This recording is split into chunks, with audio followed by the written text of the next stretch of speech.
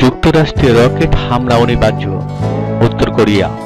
উত্তর কোরিয়ার পররাষ্ট্রমন্ত্রী রি ইয়ং হো বলেছেন, তার দেশের নেতা কিম জং উনকে মার্কিন প্রেসিডেন্ট ডোনাল্ড ট্রাম্প রকেটম্যান বলার পর যুক্তরাষ্ট্রে রকেট হামলা চালানো অনিবার্য হয়ে পড়েছে।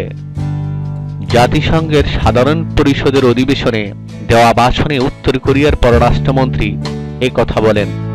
বার্তা সংস্থা রয়টার্সের প্রতিবেদনে এ তথ্য জানা যায়।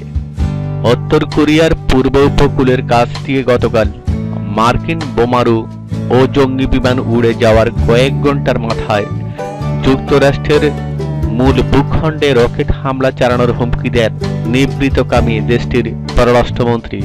উত্তর কোরিয়ার বিরুদ্ধে সামরিক ব্যবস্থা নেওয়ার জন্য যুক্তরাষ্ট্রের হাতে বিভিন্ন বিকল্প আছে। তাদের হাতেই বোমারু বিমানের এই উড্ডয়ন বলে জানায় মার্কিন প্রতিরক্ষা দপ্তর প্যান্টাগন। উত্তর কোরিয়ার পররাষ্ট্রমন্ত্রী তার ভাষণে ট্রাম্পকে শয়তান প্রেসিডেন্ট বলে আখ্যায়িত করেন।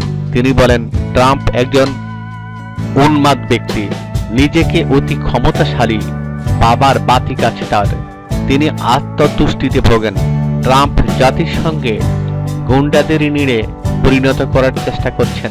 উত্তর কোরিয়া নিজেকে রক্ষা করতে প্রস্তুত বলে জানান রি হো তিনি বলেন, রাষ্ট্রীয়ভাবে পরমাণু শক্তি অর্জনের চূড়ান্ত অবস্থা থেকে তারা মাত্র কয়েক ধাপ দূরে আছে। যুক্তরাষ্ট্রের সঙ্গে ক্ষমতার ভারসাম্য আনা পিয়ংইয়ং এর লক্ষ্য বলেও জানান তিনি। যুক্তরাষ্ট্র উত্তর কোরিয়ার মধ্যে কিছুদিন ধরে তীব্র বাকযুদ্ধ চলছে।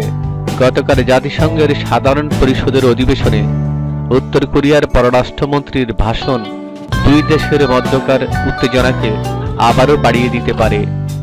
জাতিসংঘের সাধারণ পরিষদের অধিবেশনে ভাষণ দেন ট্রাম্প। ওই ভাষণে তিনি উত্তর কোরিয়ার নেতা কিম জং উনকে রকেটম্যান আখ্যায়িত করে খোঁচা দেন।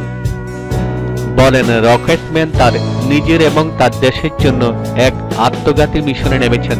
উত্তর কোরিয়াকে পুরোপুরি ধ্বংসের জন্য যুক্তরাষ্ট্র প্রস্তুত আছে বলেও হুমকি দেন ট্রাম্প। জাতিসংঘের সাধারণ পরিষদের অধিবেশনে ট্রাম্পের দেওয়া ভাষণের পর ক্ষুদ্র প্রতিক্রিয়া জানায় উত্তর কোরিয়া। দেশটির নেতা কিম জং উন এক বিবৃতিতে ট্রাম্পকে বিকৃত মস্তিষ্কের বলে অভিহিত করেন। বক্তব্যের জন্য ট্রাম্পকে চড়া মূল্য দিতে হবে বলেও হুমকি দেন তিনি। ট্রাম্পের বক্তব্যকে কুকুরের গেউগ হিসাবে অভিহিত করেন উত্তর কোরিয়ার পররাষ্ট্রমন্ত্রী।